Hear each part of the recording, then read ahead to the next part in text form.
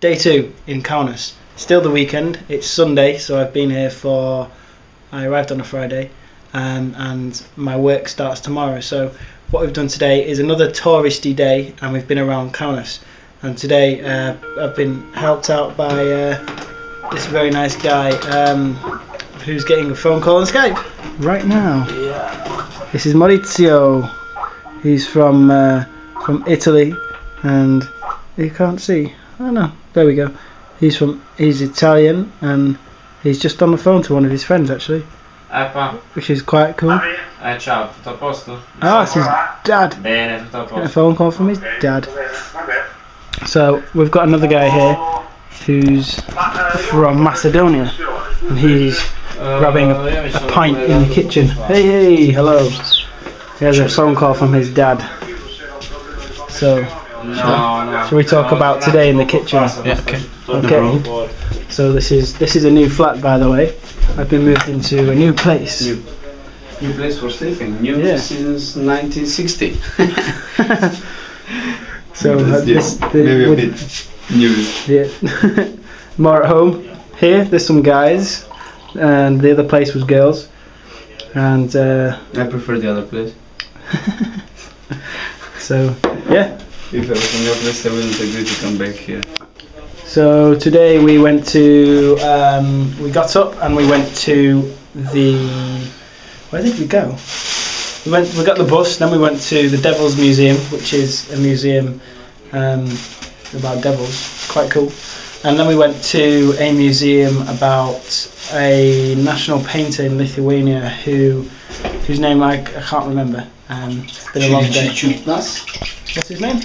Chiliunas? Something like that? I don't know. Yeah, he painted like myth, Don't take me serious. I don't know. Chiliunas, maybe. myth, mythological paintings or something. Mm, impressionist.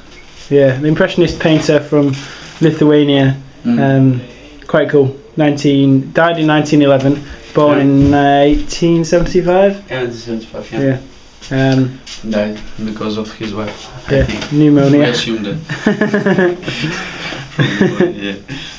Yeah, it was good. And then we went to uh, this church, um, a big church on top of Kaunas. You can see the whole of the city. Um, I've got photos I'll upload, and that was quite cool. After this, we went to the shopping mall, um, or the supermarket area. We looked at some items until it closed, and then we came back and I've moved places, and that's that. Now we're gonna watch some TV on the internet. Yeah, and if uh, I, in the meanwhile, I was in a in a military in a military museum, so um just to be recorded. So if you want to go to the military museum again, come after six months because it's under construction. Yeah. it's half empty. Yeah. How have you? Can I ask you how you found your day? Good How day. I? bad yeah, day? qu- quite nice day. I mean, I usually want to sleep in Sundays and watch football or something. But anyway, since there is no football, this is not I'm not at home, so this is not bad idea. But the, I quite like the view of Kaunas actually. It's a very very nice view. Yeah, from the top, yeah. But Yeah. they closed the better door, Yeah. the better balcony. So And then anyway. actually then then afterwards we found um, a restaurant um, very nearby with no name, but just they served lots of traditional food and I, I got like potato meat omelette thing and uh, it was pretty cool Yeah. place, yeah. yeah. I had